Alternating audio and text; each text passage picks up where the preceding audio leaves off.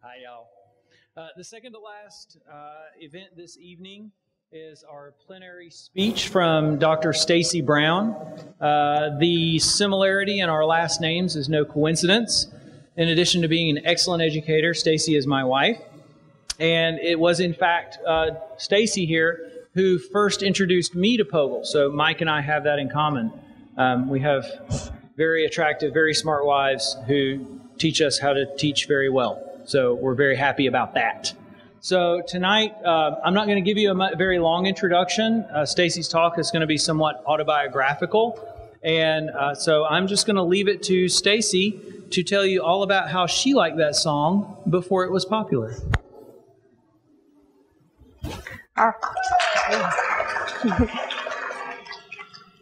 there we go. All right. Well, thank you for your introduction, Patrick. Uh, so now you're not going to wonder why I got asked to do this. Um, but I'm excited to be here and I'm excited uh, to see a good turnout this evening. When uh, Patrick first asked me to, to, to, do this talk, I thought a long time about what in the world could I talk about with this diverse group of faculty from high school and college and, and with different levels of teaching experience. I don't really know the answer to that yet. So um, I thought I would just tell you a little bit about what um, got me into doing POGIL um, and got me here to ETSU where I started doing a little bit of scholarship of teaching and learning stuff. It's not my expertise. I'm an analytical chemist, so I know how to do that kind of research a little bit better, but I have learned in uh, the last 10 years to pay attention to what you do in the classroom, and if you do something different, pay attention to how it works. That's called assessment. I actually didn't know that until I came to the College of Pharmacy, but um, it's useful to pay attention to what you're doing and if it works, uh, yes or no. And then just talk a little bit about where I think um, my experience with POGIL and with uh, teaching and learning is going to take myself and my role in our college uh, moving forward. So part of uh, tonight, like Patrick said, is a bit autobiographical. I want to tell a little bit of a story of my last 10 years of, uh, of my career, which has kind of encompassed my experience with uh, doing uh, POGIL-like stuff as well as other active learning stuff. So I started my career um, there on the left-hand side of the slide at the Citadel, and this is a um, school in Charleston, South Carolina. It's a military college, so all the faculty wear uniforms. Uh, and uh, that's as great as it sounds. Um, I was literally six days out of graduation from UGA. I didn't do a postdoc. I got into an academic position right away. So I graduated on August the 15th, and my first class was August the 21st. And it was a recipe for success like no other. It was this huge auditorium with you know, 200 seats. I had a book and I had a chalkboard. It was going to be awesome. Um, and uh, so I went in there and I taught a course that was uh, creatively named Chemistry for the non science major. I taught a few sections of this course and a bazillion labs of this course, and I did it in a way that I thought was perfect. And the students really liked me, and they gave me great reviews, and I just had a great time. I was like, man, I'm a rock star at teaching. This is really going well. And that lasted until the final exam. And uh, the final exam was actually assembled by all of the faculty that taught in the course with common questions. So essentially, we all gave the same final. And I was like, no problem with that. My students are awesome. They've done great on my tests. And I knew I had written good tests because I took a one hour class actually it only met for one hour ever a class about test writing. So i was totally an expert in that. And um, i was also an expert in writing things on the chalkboard. So i was doing really great. And here comes the final. And my students did terrible. They scored easily two standard deviations below their peers. Um, over 40% of them did not know the formula for water. And this was a proud moment in my teaching career. I, uh, I share it with you now because I can laugh at it, but at the time I was pretty devastated.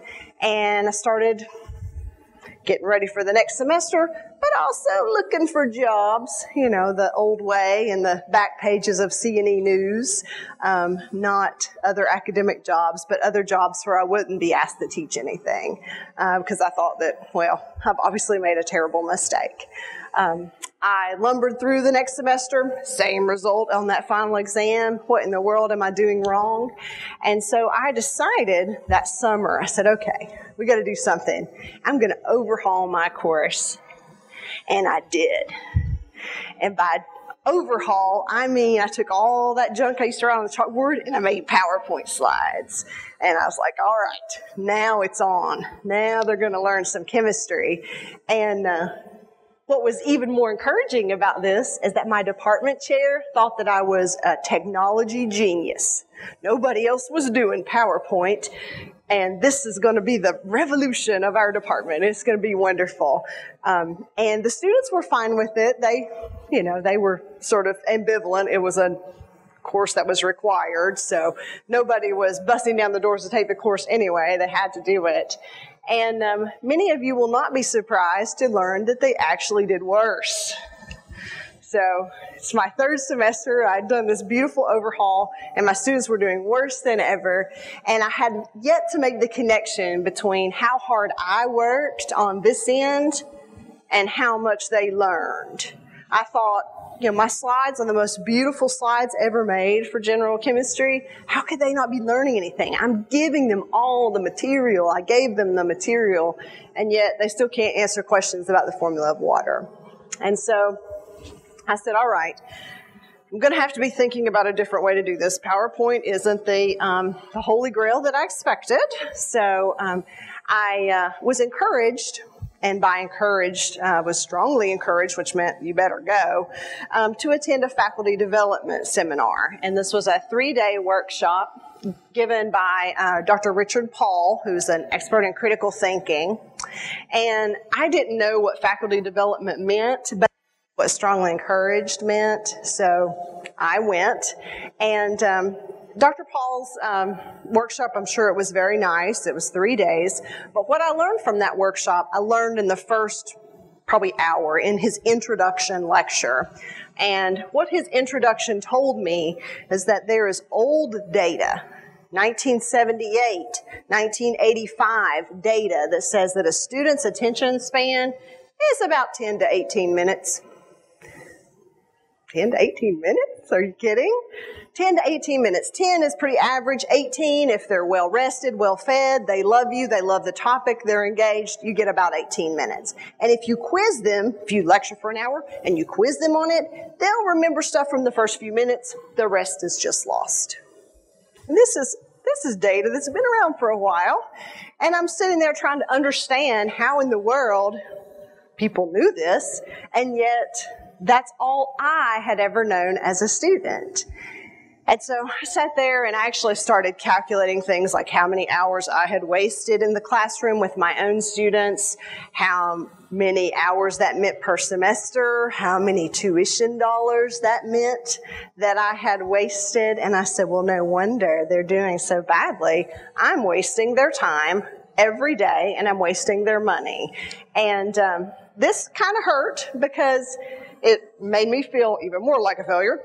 Um, but it also made me kind of look at my bachelor's degree a little bit different. I was like, well, yeah, no wonder I couldn't calculate. Uh, you know, I couldn't do PKA problems when I went to graduate school. No wonder I couldn't, um, because I probably memorized it for a test, and I guarantee you I made an A on that test, but I couldn't tell you how to do it two years later. And so there was a little bit of disappointment, a little frustration behind that, but then sort of regrouped myself. I was like, all right, we're going to have to do something different.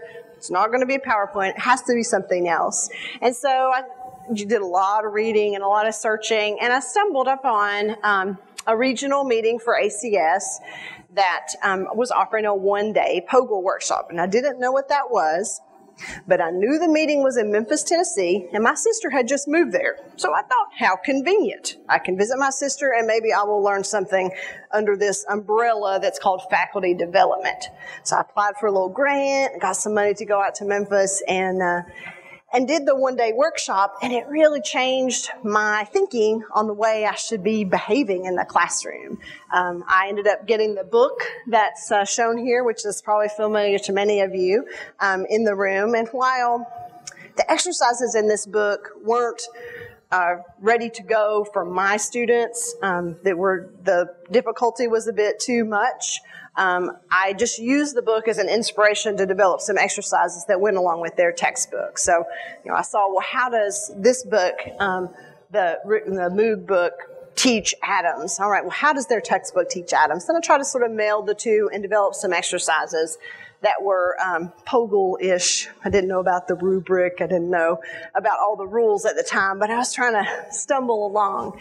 And uh, lo and behold, things got better. Um, each semester after that, I, I, wrote a few more, put a few more out there. Um, and uh, the student performance got better and better. Um, my biggest challenge at the Citadel was that it was a military school and the students had ranks. And so you had to be really intentional with forming those groups because if you had a high ranking senior and a low ranking freshman together, that group wasn't just wasn't going to function well. So you had to be cognizant of that. But other than that, um, there there were a few stumbling blocks. They went really well. And I got excited about it, started telling everybody about POGIL, and everybody just looked at me like, hmm, well, I see that you're feeding them the assessment questions at the end of the semester. Good for you for cheating and ruining our test. And so I was accused of, of um, you know, of, of teaching them the test, and therefore they were doing better. That's the only way to explain the fact that my students had suddenly improved.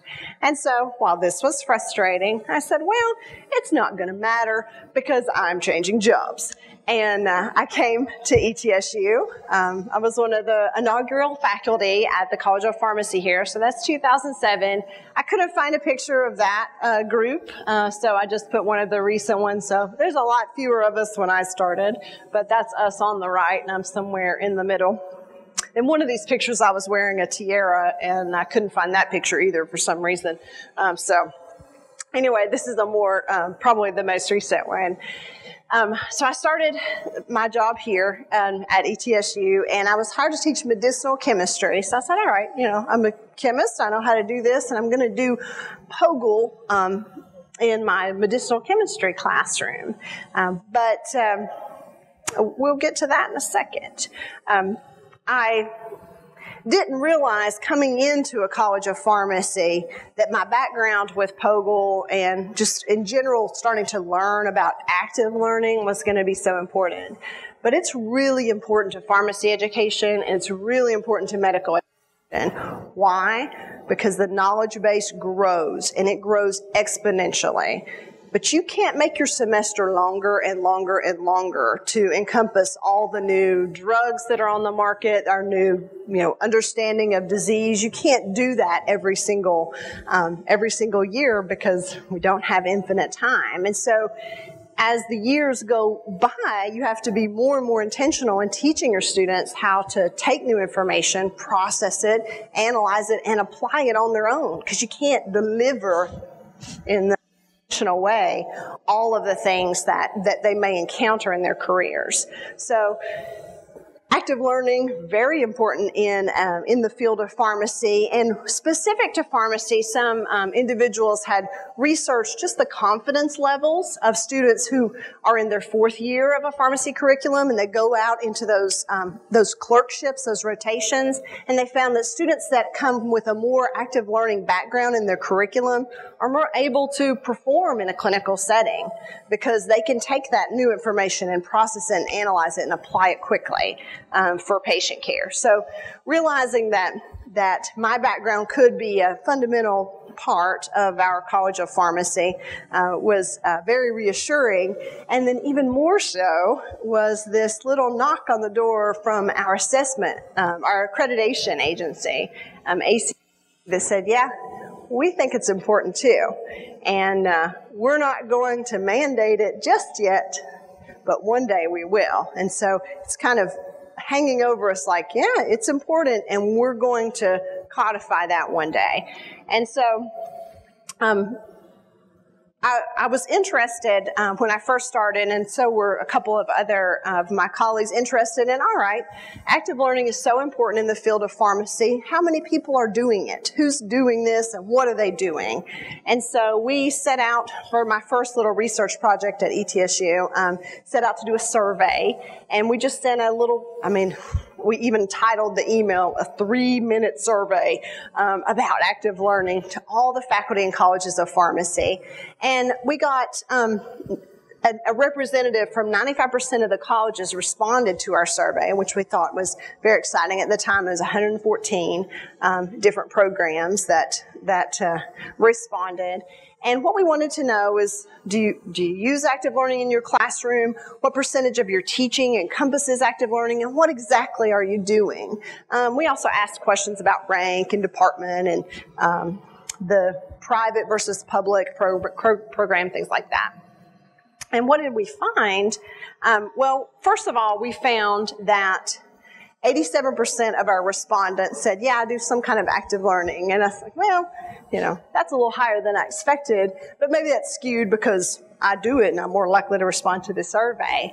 Um, we found that among those people, though, they said that only about 30% of their time at most was spent doing active learning in the classroom. It's like, okay, well, maybe a lot of people do it, but a lot of people doing a little bit of it. So that's kind of interesting. Um, what kind of things were they doing? First and foremost, they were doing problem based and case based learning. And this is not surprising at all because uh, there are whole pharmacy curricula that are problem based curricula. There are whole you know, schools that mandate that all the courses are taught like that. So that wasn't very, um, very surprising, nor was it the prevalence of like a discussion based platform or team based learning, the frequency of that very surprising. And then right there at the bottom, but I put it at the top because we're at a POGIL meeting, um, was POGIL and inquiry based learning. So the fewest, that was the smallest group of people. And, you know, I was one of those respondents.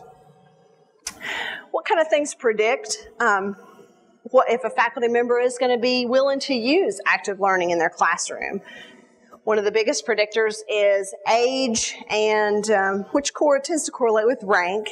So your newer professors, your younger assistant professors, um, who are new to teaching typically um, are twice as likely than a full professor to use some kind of active learning. And why is this? Well, if it's gaining prevalence in pharmacy education, then these individuals are more likely to have seen it. And just like me, who emulated what I had seen as a student, they may be emulating what their faculty were doing at their college. So more likely if you are a newer faculty member. If you're in a clinical department or one of our social behavioral departments where you, you know, do pharmacy administration or pharmacy law, three and a half um, more times likely than the basic sciences or the pharmaceutical sciences, and that's where I would fall, to do active learning. And this is probably because these fields, it's easier to see how you would do it. And, you know, it's easier to see how you would teach, um, you know, disease management using an active case-based approach maybe versus the Krebs cycle.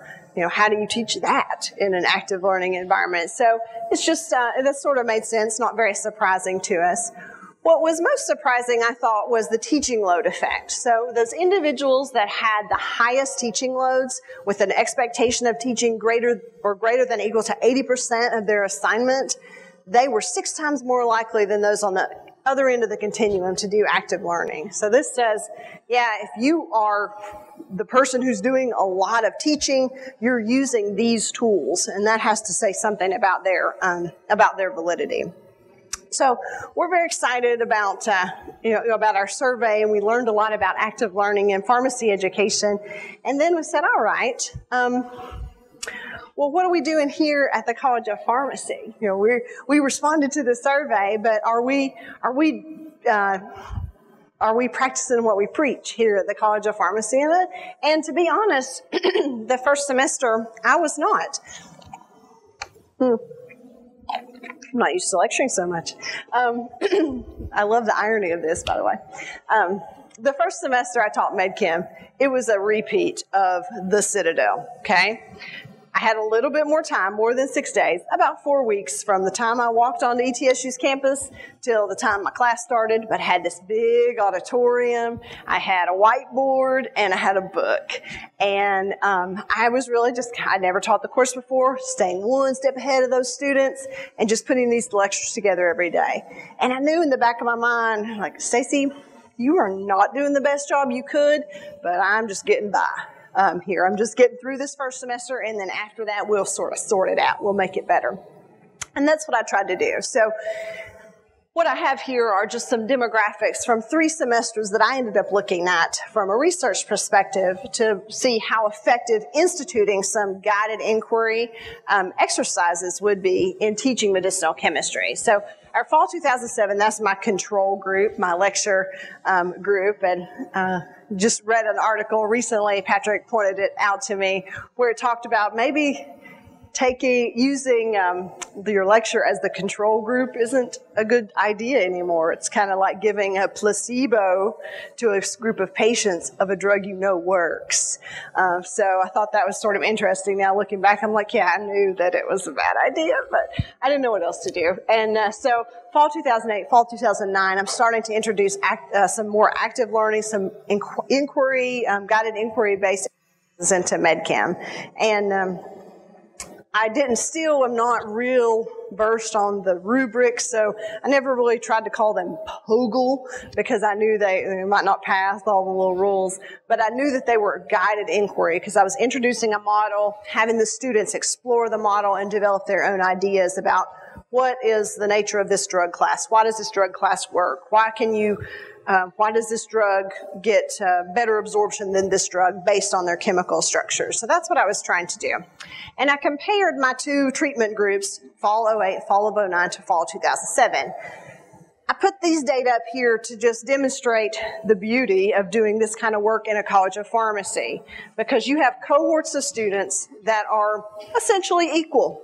They're about the same size and number, same gender distribution, same age, and then those predictors, so, you know, things that you would typically associate with uh, predicting academic success, GPA, and then the PCAT, which is our entrance exam, pretty much the same. I did, you know, I don't know a lot of statistics, so I did some t-tests and said, ah, these are the same. They're not, not statistically different. So I felt good about comparing these particular cohorts of, of students. And what did I find? Um, well, I found that when I taught the course with a lecture format in 2007, which is the blue um, students, I found that that my grade distribution was a BC distribution. So 86% of my students made it either a B or a C. But then when I switched the format um, to an inquiry based, a guided inquiry based uh, format, my grade distribution shifted into the AB range, whereas the first semester I just had a handful of A's, but then the second semester, I had like 35 A's out of 66. Um, and, you know, I realized that these, these data don't look maybe as striking as some data that you've seen uh, earlier today, or you may see in the, the POGIL literature where you see an undergraduate classroom being effective. Um, these data are still exciting to us because we're talking about groups of students that are going to succeed no matter what. So we're just helping them succeed through guided inquiry at a little bit higher level. I mean, 90% of the students that walk through our doors graduate in four years and never make a grade lower than a C. So they're going to be fine. We don't have that DFW rate to contend with, but we did see a shift in our distribution of, uh, of grades in MedChem. So, of course, I've continued to follow this model and each year trying to make my exercises just a bit better. And and I couldn't have, um, after looking back at these um, these data and looking at my student evaluations, I couldn't have written more flattering comments for my own self. Um, the students were very excited about the guided inquiry format. Um, I call the the exercises. I'm very creative in class exercises because we do them in class. Um, and uh, they said these are these are the key to my understanding. Um, they said that this is so much better than listening to lecture that they used higher level thinking skills. Like, man, I couldn't have written a better thing. That's perfect. I wish that um, I knew who said that so I could give them a hug. Um, but these things all made, you know, all made me feel a bit validated about what we were trying to do um, in medicinal chemistry. And one of the last comments is also very important because the student here says, it wasn't easy. I didn't like this class so much because it was easy. I liked it because I now feel comfortable with a set of material that before was very intimidating. And uh, if you poll pharmacy students, you're going to find that medicinal chemistry is not at the top of the favorites. Um, it certainly wasn't at the University of Georgia. And so to have them uh, say, yeah, I'm comfortable with this stuff and it's still not easy to me, but I feel good about it, that uh, made me feel like we're doing the right, right thing as far as uh, our approach to teaching it. But uh, I don't uh, want to do everything the same, so I, I, sort of get distracted. And I said, you know, maybe I could uh, use some other strategies in my teaching. So I did um, work a bit with case-based teaching, and this was in the development of a toxicology elective. Um, so in any given semester that the elective was offered, about half of our students, so in a class of 80, you know, 40 are taking it, 40 are not. And after a few iterations of my new elective, this is actually representing two iterations, I said, all right, let's look back at these students. Um, these students, I mean, they did fine in toxicology. I didn't have a control group because now I'm convinced that I shouldn't have a control group. I just have a group, and we'll just see what else uh, what else is affected. And here I wanted to look at um, content overlap because we know that if you kind of present the same thing in several contexts, students tend to get a better grasp on it. Um, I experienced this as an undergraduate where I was taking physical chemistry and biochemistry and inorganic at the same time, and there was actually some content overlap. I was like, okay, I kind of get this. Um, and in toxicology, there was some content overlap with a pharmacology course, which is a more, which is in the basic science, pharmaceutical science realm, and a pharmacotherapy course, which is a more applied clinical course. There was content overlap with my course and these. I saw with this, between the students who were in uh, the toxicology elective and those who were not, I saw a difference in their performance in the clinical course. So in uh, pharmacotherapy, the average grade was an 89 for students in the elective and an 83 for the students who were not. Once again, it's not a huge difference, but these students are going to pass regardless. They're going to be fine regardless because the grades are usually in the B range. So um, our conclusions from this, looking at pharmacology and saying, well, there's no advantage in the basic science course, was that it might be a function of the way the toxicology course was taught. It might be a function of a case-based model where the students now are starting to learn how to take new information and process it and work in teams to figure out um, to figure out the solution to a problem. And so we said, you know, it could be that it's not just a matter of content overlap that's giving my uh, toxicology students an advantage. Now, the bars on the far left where it says PCOA, um, this is actually a standardized test that is given, well, we use it as a tool in our college um, for benchmarking. So we give it to our students in the third year, and then we look at how we compare to other programs.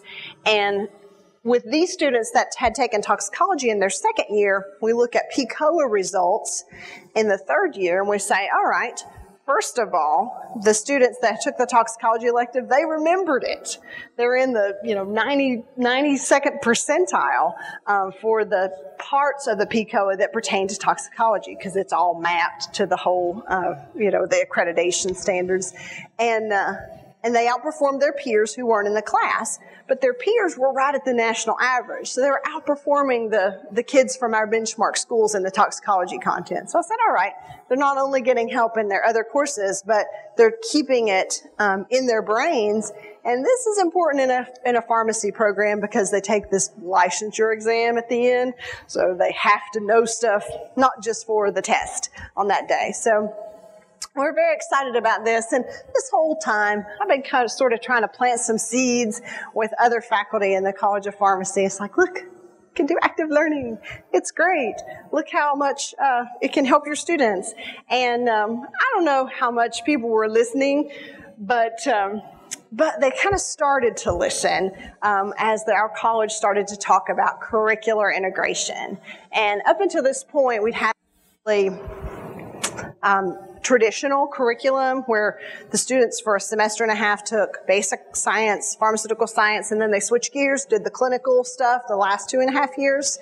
And what we said we want to do is be more intentional in, in um, integrating these two things. So the students don't have the basic science of um, antimicrobials in their first year, but don't learn about the therapeutic implications of those till their third year. We don't want that disconnect. So we're going to integrate that. What a great opportunity for active learning. That's what you would think. But my reaction in the initial discussions about curricular integration was no, not interested because it's going to mess up my class. And my class is awesome.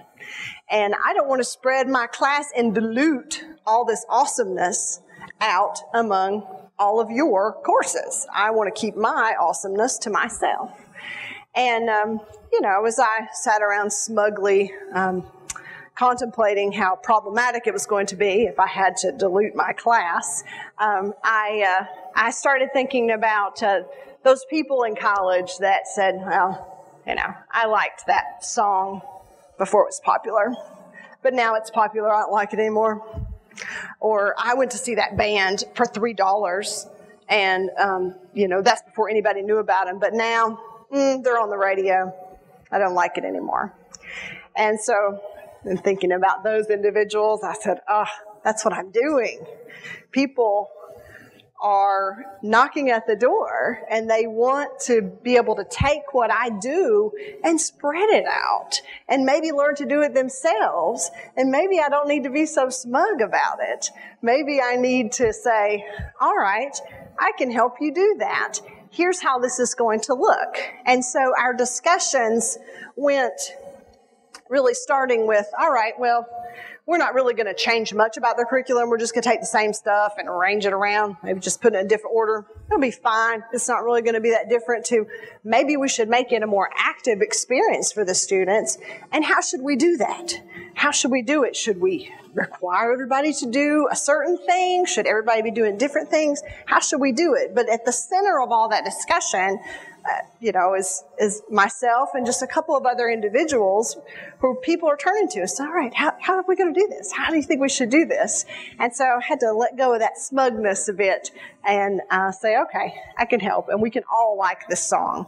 Um, but as we are working to um, to revise our curriculum and to move into this integrated model, which we're a year um, into as of August 5th, 14th, which would be actually first day. Um, but we'll be doing our uh, first year of the integrated part um, starting this semester. We get this uh, little trickle from our accreditation body that says, all right, you're coming up for reaccreditation. And that's all well and good. But after you're reaccredited, we're going to put some new standards in place. And in one of those standards, we're going to codify this thing about active learning. We're going to say, listen, if you are going to deliver a pharmacy curriculum that is recognized by our accreditation agency, you have to show us that you actively engage learners in your classroom, that you provide a collaborative learning environment for them. It does not say about pretty PowerPoint slides, unfortunately.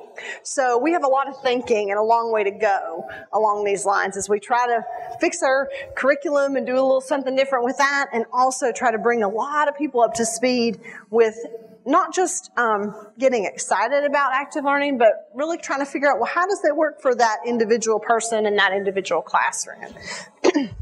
and so with all that, I feel like um, I feel like there should be some closing points.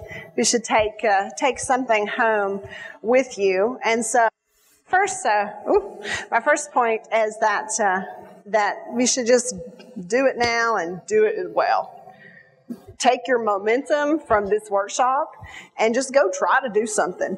And it might not be perfect, and it might just be one exercise, and it might not pass the rubric but do it and try it. And by doing it well, that doesn't mean that every single thing you do needs to be perfect um, according to according to any other, um, you know, any other teaching style. But by doing it well, what I mean is do it with respect and fairness for the students because that's what they want. You know, if you if you treat them fairly and you respect them and you keep the morale in the classroom high, you can do all kinds of crazy stuff and they're going to be on board with it because they know that in the end of the day, you're not going to punish them if your POGIL exercise flopped. Okay.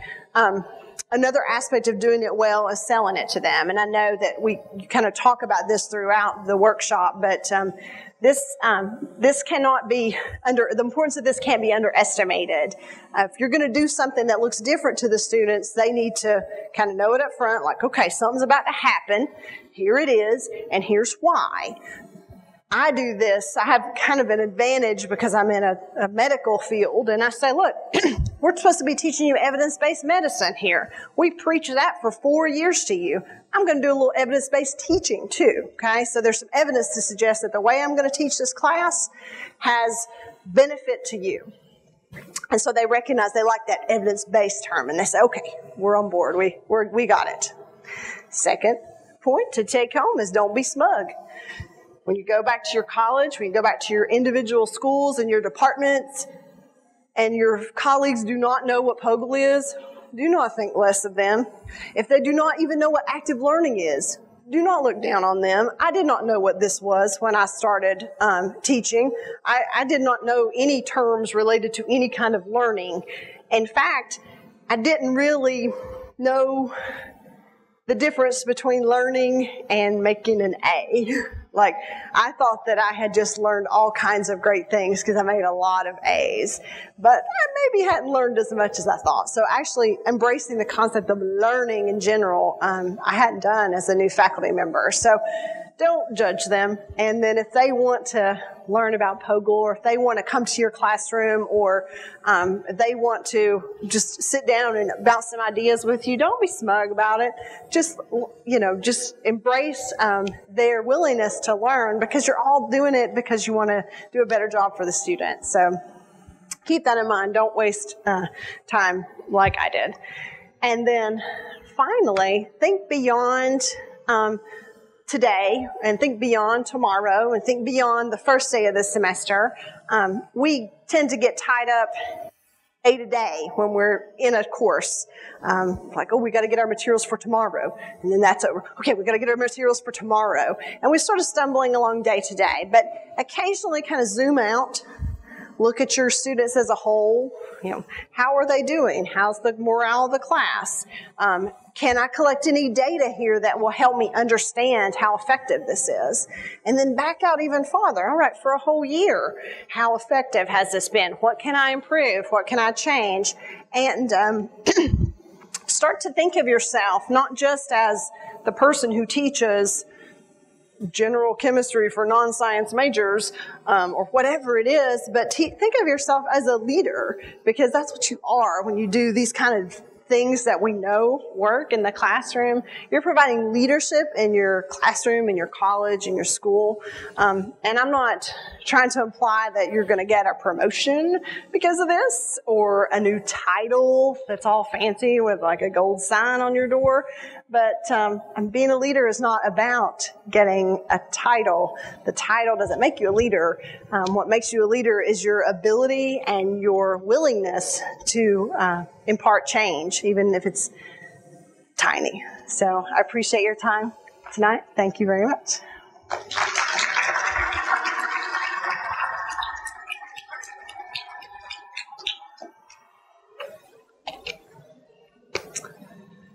What questions do you have? You see, in a course where I learned about teaching communication to healthcare professionals, I was taught never to say, Are there any questions? Because the answer is always no. So, what questions do you have? That's what you're supposed to ask. Yes, ma'am.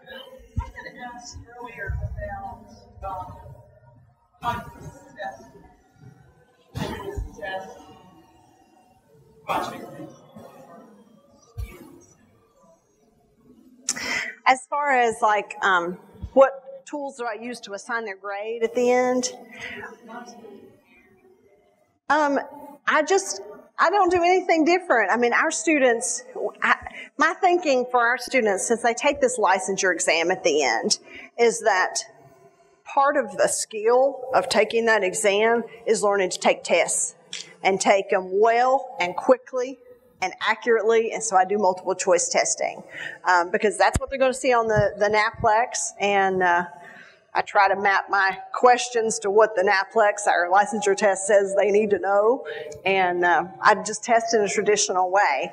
Part of that also is that I don't have time to grade 80 papers, and I would love to you know, have them maybe write something, but Lord have mercy, I just don't have time for that. so, um, so it's really no different than if I were lecturing. Um, they do struggle a little bit especially the first test, figuring out how to study because they're used to like just learning all the stuff on the slides. And so having this stack of this other thing that they've been doing in class is a little bit intimidating. Uh, so for the first test in my course, I always do kind of a review session with those clickers. I'll just make a bunch of, I'll pull questions from old tests and make little clicker slides and like, this is the kind of thing you're going to see. All right. If you can do this, you can do the test and put them at ease. Like, hey, you know stuff. It's okay. Um, so I don't know if that answers your question, but. Uh, well, just you did, Thank you. I guess what I would say is you don't assess the project. Just do the testing that in that fashion yeah, I don't uh, really check them for accuracy because the in my course they always report out to the board by the end of class. So hopefully, if it, you were breathing during class and had your eyes open, you could have gotten all the answers. So you should everybody should have an accurate paper. But I do give them a little bit of points for for um, being there and working in the group. And uh, I ask my group managers. Um, to decide whose name gets on the paper. because sometimes they'll leave people off because that person was texting or whatever else they were doing. And they were in the room, but they don't get any credit. And uh, boy, the students sort of love doing that. um, so they get uh, they get recognized for participating and contributing in that way. But it's not a huge, you know, a huge percentage. Yes. Can you elaborate more on how you were able to get faculty buy-in from your department? Like, was that difficult? I mean, well, it's. Mm, it can be difficult. I didn't really get, when I was at the Citadel, I got zero buy in, almost like more hostility than buy in. And at the College of Pharmacy, we actually have a lot of enthusiasm for it, but also a lot of, yeah, that's your thing. You're doing great at it. I could never do that. And uh, so, you know, gradually I've gotten a few people more interested uh, to the point where we have one other faculty member that's actually writing some exercises. She was here earlier um, today, and other people who have asked me, like, I'm going to try something in my class today. Can you watch and see how it works and give me some feedback? So I'm starting to get more of that. Um, not necessarily people following a POGIL model, but just a little bit more like, okay, I'm going to put myself out there and, and try it. Um, part of what makes people nervous is the fear that maybe as a college we're going to adopt a philosophy of we do this kind of active learning here and nobody's really in favor of that, but I think a lot of people are a little bit fearful that that may happen as this accreditation standard has come down. So there's a little bit of trepidation like, oh, are they going to make me do a certain thing? Because if they want to make me, I don't want to do it at all. Um, but right now we're sort of in the phase of, well, I'm interested.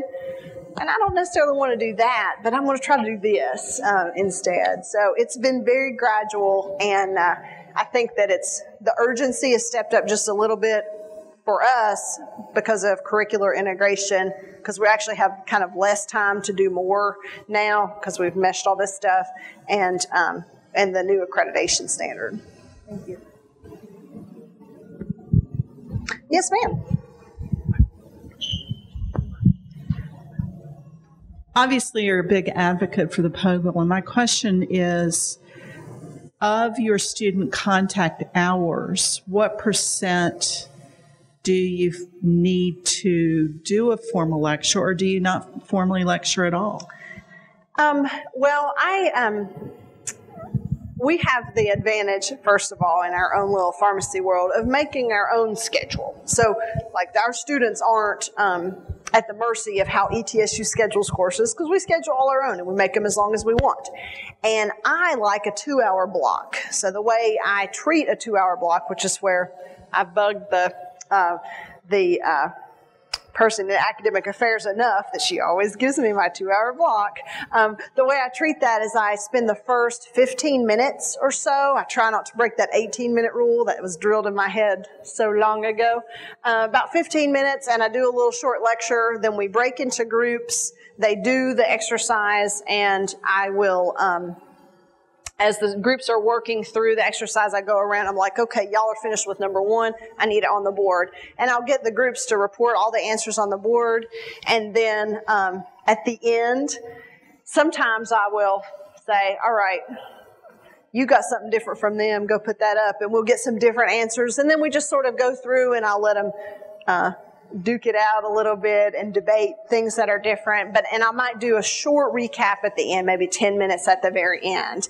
Just like, all right, we did all this mess. Now, what do you need to take home? What is, what is the most important uh, concept here in the end? So I do use some lecture, um, just because part of it is because we don't have a good textbook that, um, that I like that's not a bazillion dollars. So we have a good textbook, but it's a bazillion dollars. So I choose a cheaper textbook and I try to supplement a lot of stuff in the lecture. So, so I use it a little bit, but try not to abuse it. Hi. Sir. I got a couple questions. Okay. Um, so um, one has to do is when when you I'll ask the first one. Okay. So when you're preparing your inquiry-based lesson plan, um, do you outside of that the plan that you talked about? Do you have either a sign reading prior to class or a paper that they need to read after class to either reinforce or build upon, or is all the learning done within the classroom? I try to keep it all done within that two hours. Um, and that comes from, I guess it was, I don't know where I picked this up. It was a little trick that I saw um, at a faculty development workshop. And the faculty member put up a, like a slide, A, B, and C. It says, What do you want out of this class? And A was to make a good grade. B was to learn something, and C was to not have any homework. And then at the end, he said, Well, you know, and he polled the students. And the answer, he's like, Well, the answer is D. If you come in here every day and you work your butt off for me every day during this time, this will all happen. And so that's what I, that's one of the ways I try to sell it to my students. I'm like, look, don't miss class. Don't fool around during class. And if you do that, you're not going to have to study a whole lot in the end because you're going to already know the stuff. And uh, it sort of shocks them. But so there's no there's so there's um, uh, there's no pre-lab or pre-class questions to prepare them. no, So they're coming. They, there's reading that they can do if they want to, if they need more. But I don't say you've got to read this before you come. Okay. Um, second question is so when they're broken into the groups, so this is like asking for your wisdom based upon experience. they don't all, my experience is, um, they don't all get it, right? So you can have four people in a group and maybe three of them got it and one of them did. What, do you have any advice about how to detect that, or or do you set your goal a different way? Is what you're what you're looking is for participation across the board, and then the outcome is going to be the outcome based upon the individuals. Well, I, I struggle with that still. Um, we have our groups are actually pre-assigned, so I don't get to I don't assign the groups. We have these working groups of students that get assigned by an office, and so those groups are kind of stuck together, and um, and that's okay because there's really I haven't found any better way to put the groups together. But I do pretty quickly I can recognize in a group who is the weakest link. And I just try to reach out to them, either a quick little email or, you know, maybe I can catch them after class, like, look, if you're not getting it, you know, here's some times that we can sit down and go over this exercise together. Um, I have the, the advantage of a lot of uh, vigilance over my students by, um, by our academic affairs office, so I know that you know this student is doing poorly in all the other classes which means that she's at high risk for my class too. And so because we have such a small world um, i can pick those students out. So it's hard to detect it in the classroom but i can use tools outside to say all right i i need to reach out to you or after the first test if i have some people that are uh, you know in the d range or worse the f range we don't have see a whole lot of those but occasionally um, I'll reach out to them and be like, look, we, your group is probably not doing everything they can to help you, and so maybe I can pick up some of that slack.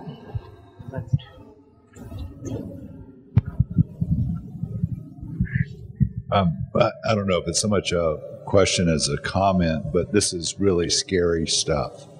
Uh, it is. It's terribly frightening. Um, and for context, uh, I'm Stacy's department chair. Um, the, so, if I ask, if I ask uh, faculty members, you know, um, how do you know you're doing your job? They their response is, "Well, I covered all the material," and uh, so they've got you know these banks of hundreds, if not thousands, of PowerPoint slides. And if they've gotten through their PowerPoint slides while they were standing in front of the class, they feel like they've done their job. And that, that's a, a tremendous uh, point of security for them. And, and to say, I'm going to do something else and I don't know,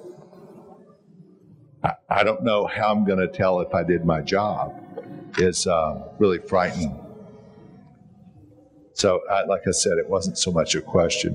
I, I want to share this with you too. This is, I'm going to embarrass Stacy a little bit, is that she won uh, and has won uh, our Teacher of the Year on um, multiple occasions. And when the uh, president of the class at, gave her the award uh, last year, he said that he made her feel like a wizard of medicinal chemistry. And those are words that never occur together. so that, that's an, just an endorsement. Thanks. And I wish that had been on the award. Um, I turned them into, he said, I turned them into wizards of medicinal chemistry. Like, all right.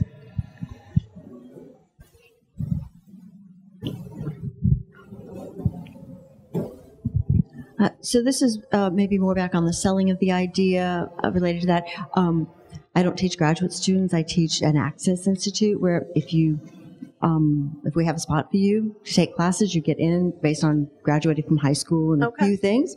And so um, it's a little difficult sometimes. They don't necessarily have all the materials. And you did talk about motivating and, and dealing with some of those issues.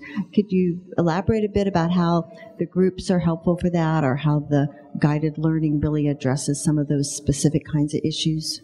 And I think she, um, Alice had already asked some of this about how do you mix the activities, but in particular, we don't have graduate students who are as well motivated as yours are, I'm afraid. Is this an answer? Just um, trying to, I guess, talk them into it as far as this is going to be a good idea about the way you're going to teach it or um, addressing issues of working in the groups with each other or yes um, but just the law, you know they have all of those things in spades they get frustrated more quickly, they give up more easily, they, they don't sustain this, they don't have confidence, all of the things that are small problems for some populations end up being huge barriers to those kids getting through the doors and making it out of the class. It's a retention issue somewhat. Mm-hmm. Um, gosh, I don't know if I have an answer to that. Um, I could speak a little bit about the differences in the way I design exercises for my my non-science majors in a essentially a freshman chemistry course, although we had plenty of seniors, uh, versus my pharmacy students. I mean, the, in the intro chemistry course, when I designed those exploration questions, they were so simple sometimes that they made my head hurt. And I had to do it like that because that's what they needed because tho- those freshmen got frustrated. They never had chemistry before. The, maybe they had only taken um, physical science in the eighth grade and somehow managed to get through high school with no science. But they got frustrated very easily too, and so I had to back off the difficulty as far as I could imagine with the exploration questions so that they're taking baby steps in exploring the model because they don't know how to read a graph. They don't know necessarily how to read a table. Um, and so, but with my pharmacy students, I can we can jump right in and like they already know all the terminology, and I don't have to ask them as many exploration questions to get them to uh, maybe make draw some conclusions. But other than that, I don't know if I could speak uh, to that population uh, because that I would think that would be challenging. I know I have a, I have a good life here with the pharmacy students. They whine a little bit every now and then, but it's uh, it's great. So let me speak to this question. Okay. Um, so POGIL in particular, which we're focused on here, really has some for your population you're talking about, which is probably a mixture population, kids, probably some adult learners and other folks that are not real prepared and probably were not necessarily thinking about um, education after high school and have found, ooh, this actually is something that I'm going to have to do, as well as some that, you know, just for cost reasons or other things are in there as well. So you have a more mixed population than most people do. The, the POGIL and working in groups really is advantageous if you set up your groups well because the, the low learners can be pulled along by people who have a better idea of what it means to be a student and how you learn stuff. You may not want to put your high with your lowest, but you mix them and it really can help out the low learners by, you know, giving them some motivation and some some guidance. They're not having to navigate on their own. They're kind of, you know, saddled up with somebody that's pulling them along and they can see how others are doing something that's very structured in the form of this POGIL instead of sitting there and trying to write down notes and figure out what am I trying to pull out of this for the test? I've got no idea because I've never done this in my life. So.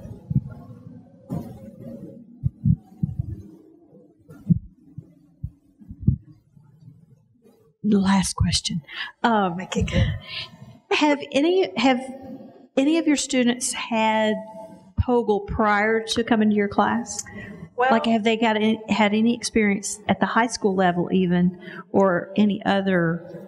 I don't know of anyone course. at the high school level, but now I'm getting a handful of his students um, each year because he's doing anatomy and physiology, and so if they've had uh, Patrick for that course, they know what it is, and they're like, "Oh, yay, POGIL again!" You know, but it's really just uh, two or three, and the others are like, "Hmm, okay, prove it to me." Uh, but it's it's not real common just yet, and I don't know of any as far as any other feeders where they might see uh, see POGIL, with the exception of Emory and Henry. Um, some folks up there uh, do that in, uh, I know for sure, in physical chemistry. So if you're a chem major at Emory and Henry, which they graduate like three or four a year, and one of the and you happen to come to pharmacy school at our school, then you've seen POGIL. So it's not too common though. All right. Well, once again, thank you, Stacy. All right, thank you.